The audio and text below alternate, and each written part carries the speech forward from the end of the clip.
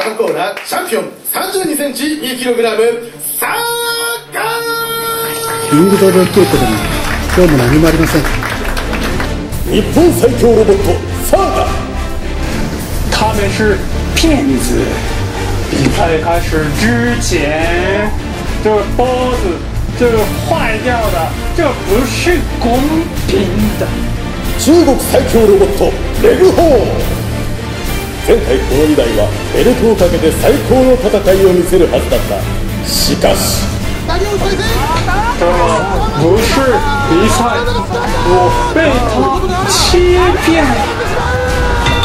我们听到的是，这不是比赛，这就是排练。前哨戦でサーガの投げによりレグホーンは首を負傷その怪我の影響からか直後に行われた選手権試合でレグホーンは秒殺の惨敗我以后不能被欺骗，就要一次性踢骗好了，好吧？还有这个飞行踢脚，飞行踢脚，我你不要禁止使用哦，好不好？頑張って。